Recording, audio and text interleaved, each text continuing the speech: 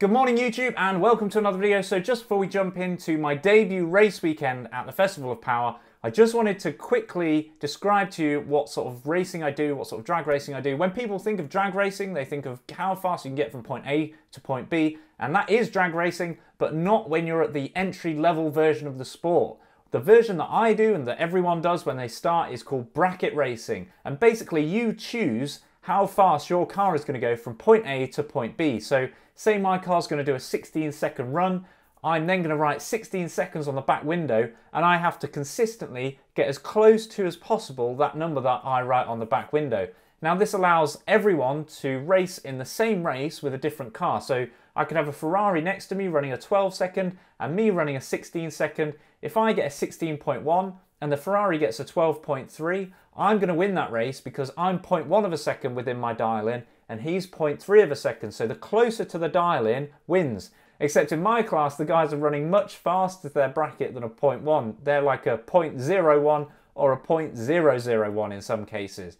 So the bracket racing allows everyone to run in the same race so that the guy with the most money doesn't always win because he's got the fastest car. So there's a really quick intro of how to uh, how to bracket race, just so that you understand whilst I'm talking about bracket racing and dial-in times, throughout this video you'll see different, different numbers written on people's windows, and that's what that means. So hope you enjoy the video. Ooh, let's have a cup of tea. Okay, good morning. So we're here. It's Friday. It's first day of kind of qualifying runs. Test day was yesterday at the um, Santa Pod Festival of Power. If you've watched my other videos, you'll know that I did a test day last week in the Golf. This is just past scrutineering, so we're all good to race now. I've just got to remember how to race and stage properly and everything. So it's a it's a big event for me because it's my first one.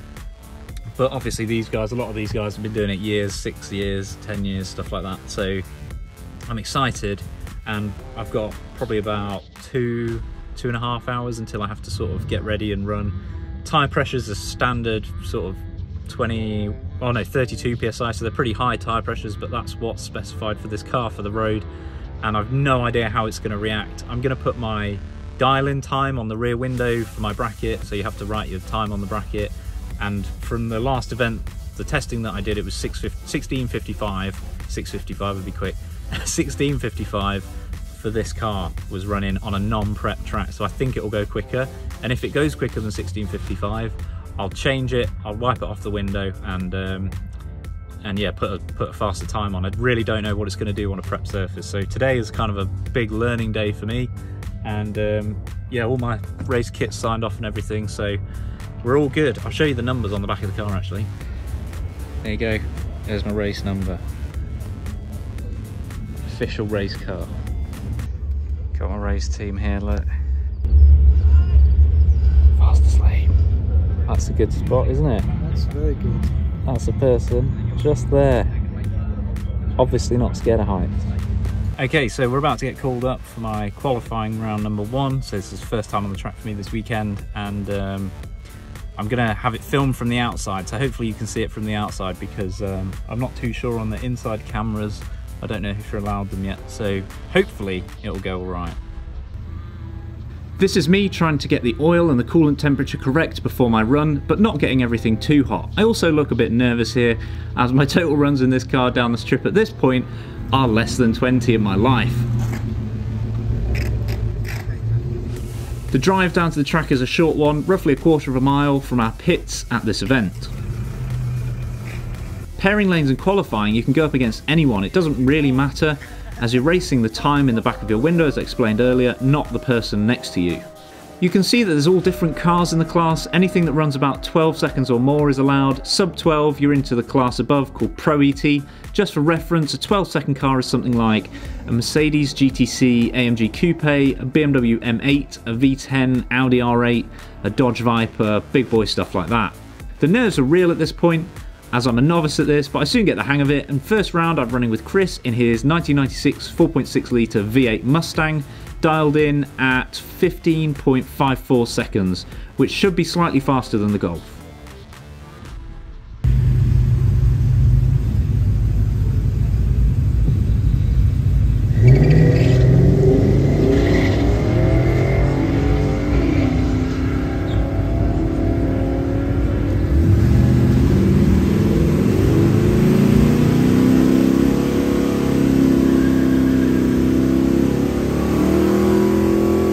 Okay, so on that one, I ran a 1629, which is I put 1655 bracket, so I've I've broken out as I've gone too fast, um, and my reaction time wasn't even that that fast. It was 0.47. So what I've done now is I don't know if you can see it. I've put 1600 for the next run. It's now four o'clock, and we've not been called up yet.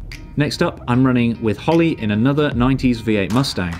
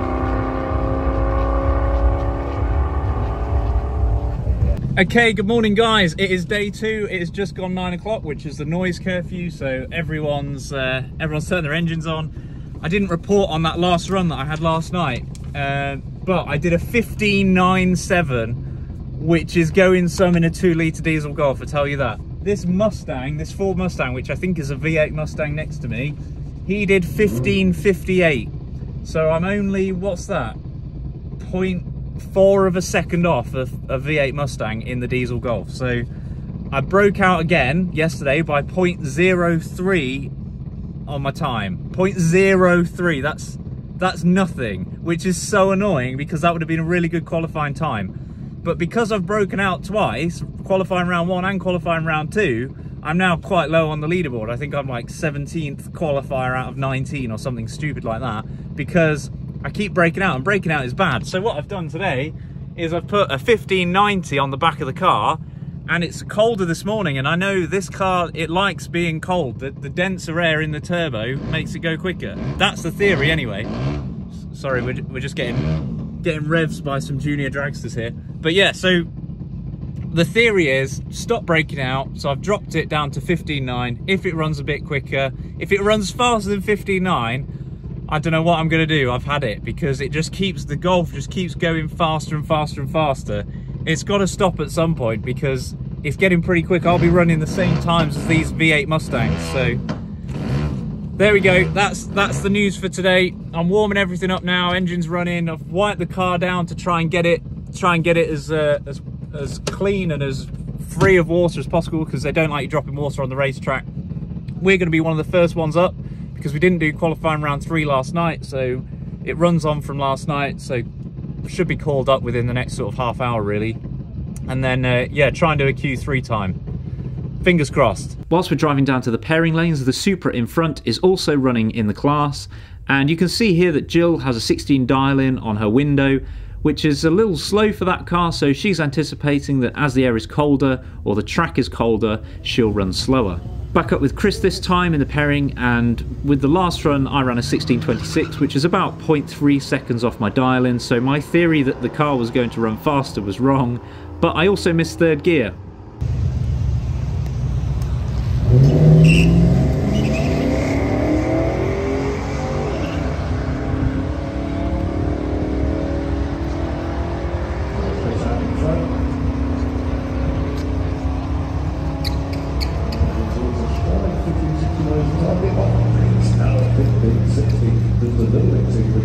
Okay, so we're in the pairing lanes now to go to Q4. I'm skeptical it's 20 to 3 whether we're going to get a Q5 at all. I, I, think if I don't think we'll get one today, and then unless it's really late tonight, and then um, yeah, tomorrow morning is elimination. So this could be the last qualifying run, and I'm currently 16. So let's see how this one goes. Next pass, I'm paired with Jane in her amazing Ford Escort van. You can see that as this is the Saturday, the crowds are pretty monstrous. Lots of people getting burnt, and me included in that. It's at this point that spending the last two weeks driving everywhere in my race boots to make sure that I have good clutch control doesn't seem so stupid.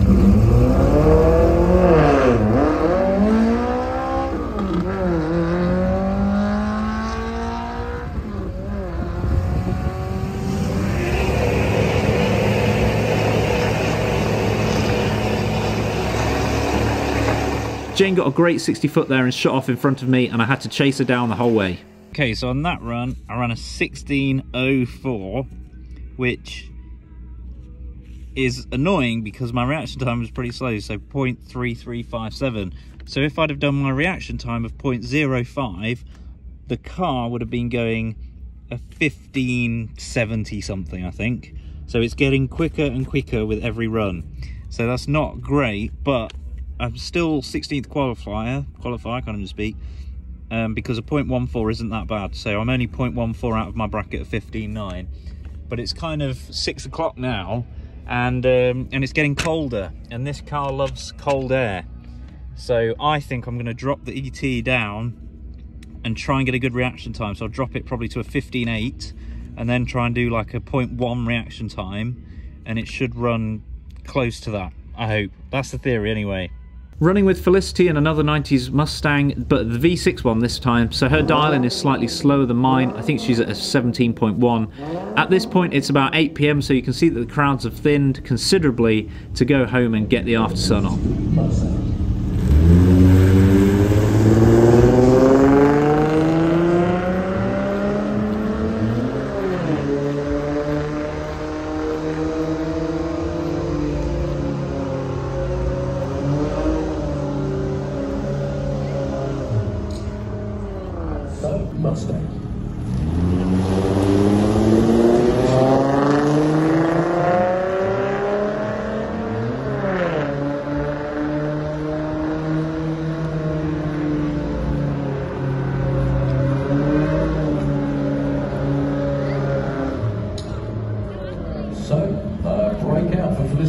Okay, so it is Sunday morning and I haven't done an update on the times last night, but the car ran a 16.26 and I dialed in a 15.8. So I thought the cold temperature would make it go, you know, a fair bit quicker because this car tends to like cold air.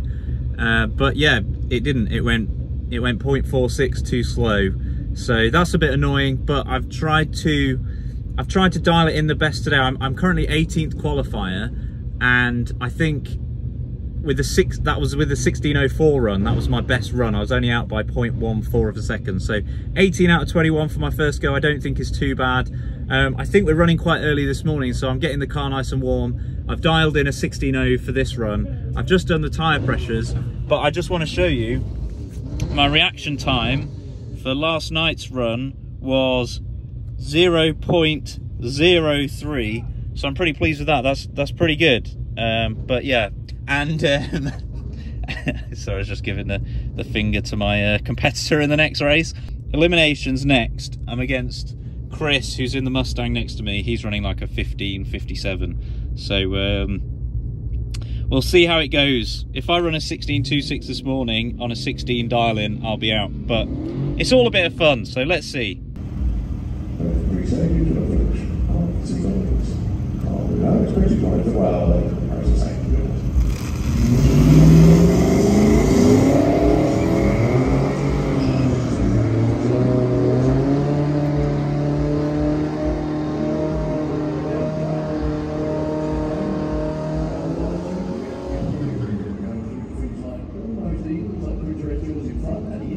Everyone watching at home.